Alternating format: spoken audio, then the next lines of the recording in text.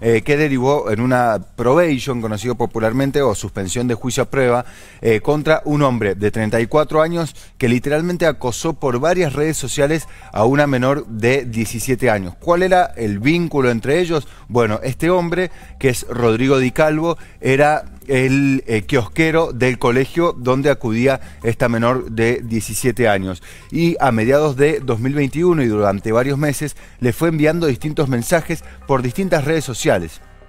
Primero por Instagram, luego por eh, X o anteriormente llamada Twitter, donde básicamente eran eh, mensajes con las intenciones de menoscabar su integridad sexual, donde le hacía propuestas subidas em, de tono y donde incluso en uno de los mensajes, si me permito leer un segundo, eh, además de los mensajes de la parte em, más subida de tono, que no, hace falta repetir, eh, lo que decía el acosador era, acá arriesgo todo, arriesgo mi trabajo, etcétera, más en este pueblo. O sea, él incluso consciente de lo que estaba haciendo. Bueno, lo cierto es que recayó la denuncia con este hombre y fue eh, imputado por dos delitos. Y acá también hay un aspecto interesante. El delito de grooming, que es en definitiva el ciberacoso sexual infantil, pero también fue imputado por lesiones psíquicas graves.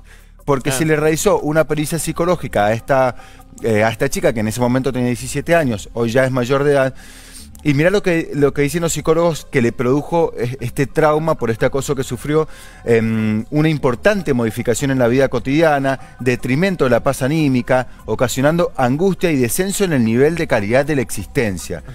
Surgieron sentimientos de aislamiento, desamparo, incomodidad con el propio cuerpo, alteración del esquema corporal, desmotivación general, retraimiento social, pérdida de interés en cuestiones que antes disfrutaba. Todo esto por los mensajes que le envió este acosador, repito el nombre, Rodrigo Di Calvo, que era el kiosquero de su colegio, a esta menor de 17 años. ¿En qué terminó esta causa judicial? Como les decía al principio, en una probation. ¿Qué quiere decir esto? Que el hombre no va a juicio, se suspende la causa, queda en suspenso, literalmente, como dice la palabra, durante un lapso de tres años donde este hombre deberá cumplir ciertas normas de conducta. Lógicamente no volver a cometer delitos, lógicamente una prohibición de acercamiento a menos de 500 metros de la víctima y además, y por ahí eh, acá está lo más interesante, realizar un tratamiento psicológico y psiquiátrico al delito que cometió, em, lógicamente un tratamiento que debe ser constatado en la justicia, justamente que lo está realizando. Si él cumple estas normas durante tres años, la causa será archivada. Si no las cumple, se levanta la probation y va a ir a un juicio donde ahí sí puede ser condenado a una pena que porque lamentablemente es un delito escarcelable, es muy poco probable que vaya a la cárcel. Pero bueno, otro caso de grooming, del cual, un delito del cual hemos hablado mucho desde la semana pasada y avanza esa causa judicial que mencionamos la semana pasada, ya después vamos a traer novedades al respecto.